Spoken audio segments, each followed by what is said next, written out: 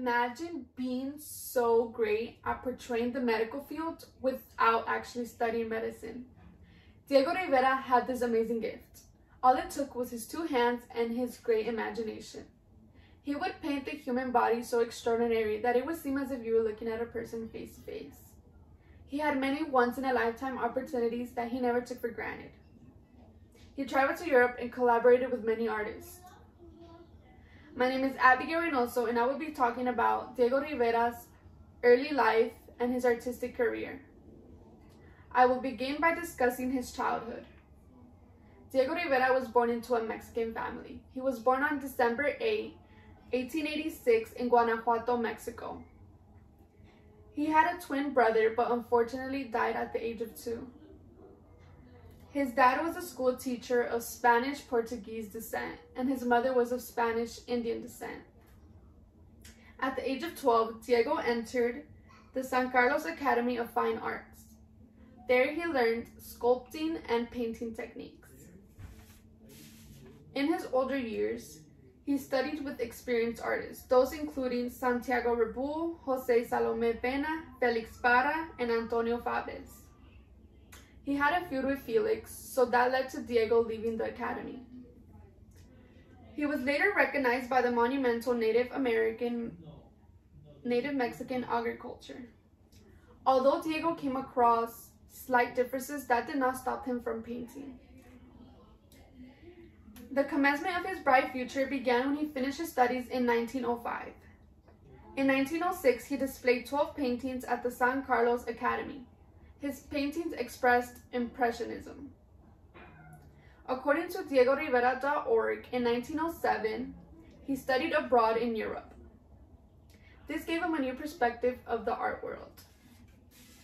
In Madrid, he collaborated with realist painter Eduardo Chicharro Aguirre in the San Fernando Royal Academy.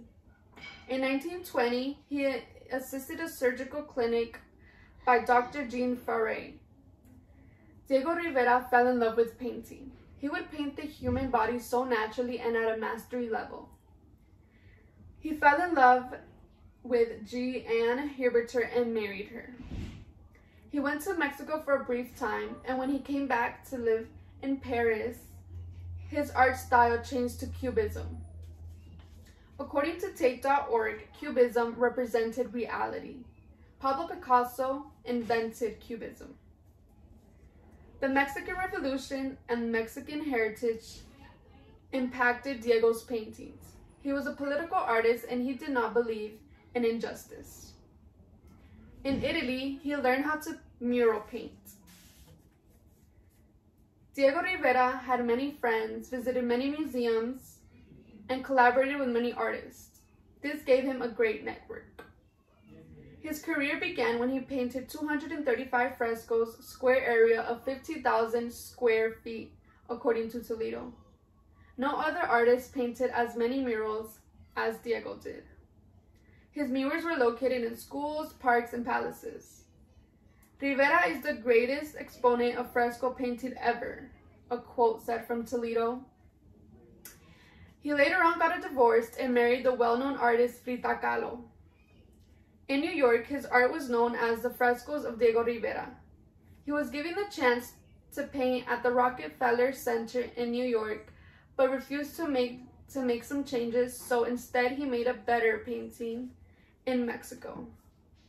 He was so invested in the science field because of how quickly it had evolved. He introduced 12 fields of sciences in paintings. He was present in an operation done by Dr. Faré. This gave him a new perspective of the, me the medical field. His murals were located in medical areas of attention, such as vaccinations.